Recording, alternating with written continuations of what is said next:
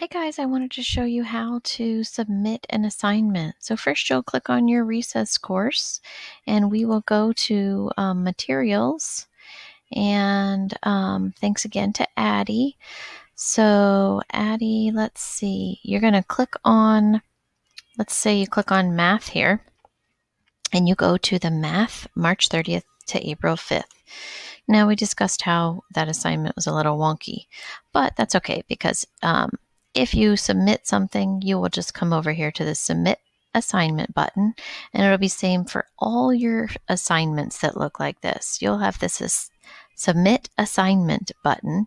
You click on the submit assignment button and you'll have a lot of choices. You could upload something. So if you wanted to upload a file, you could upload a file. You could even record an audio or a video here if your device allows it. You could create which means you can type something right in here. So if you are doing a um, uh, nightly reading or your daily reading summary or um, your read aloud response, you can just get in this, create, and type right in there.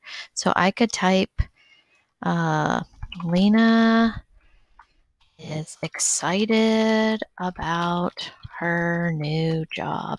And I could just type away on what we learned. Okay.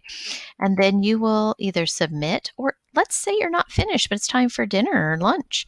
You can always click save draft down here and it'll save your draft and you can come back and work on it later. And then when you're finished, you just click submit. So let's try that. So I'm going to click save draft. Okay. And then over here, you see that there's a draft. So all I got to do is go over here and click edit draft and it's going to open it right back up so I can finish creating. Now, I am not going to, I'm going to go ahead and submit this. Addie will still be able to submit a submission. Um, but just so you can see. So you can see right here, it says assignment submitted, and it shows that she created that assignment, right? Oh, and we can do a portfolio. Look at that. That's exciting. Miss Lawson's going to have to look into that. Um, and then you can do resubmit assignment, which is what Addie will do when she actually sub- if she submits anything. Um, but you can always resubmit the assignment. If you messed up and you decided you want to do it again, you can go and click resubmit assignment. And that is how we submit an assignment. Keep the hard work going, guys. You're doing fantastic.